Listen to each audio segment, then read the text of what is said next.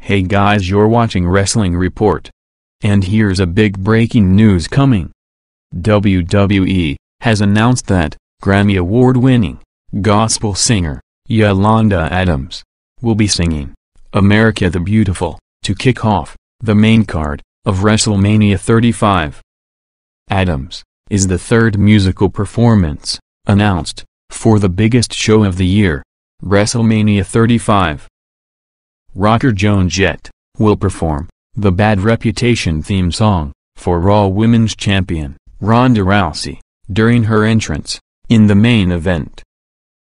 They also announced that Elias will be featured as a musical guest. Well, before ending this video, here's a video of Yolanda Adams addressing the WWE Universe about her performance at WrestleMania 35. Vegas for the Stellar Awards weekend. But next weekend, have I got a surprise for you? I am so honored to be one of the people performing next week for WrestleMania. Yeah, I want you guys to go to at WWE, check it all out.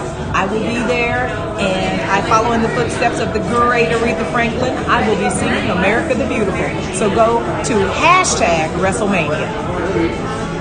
We're not nameless, we're not faceless, we were born for greatness. We're not nameless, we're not faceless, we were born for greatness.